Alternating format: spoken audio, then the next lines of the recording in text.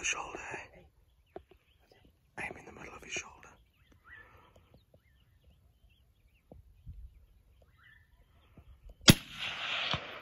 Good stuff. Well done, my man. I hit you in the neck, I think. Beautiful shot.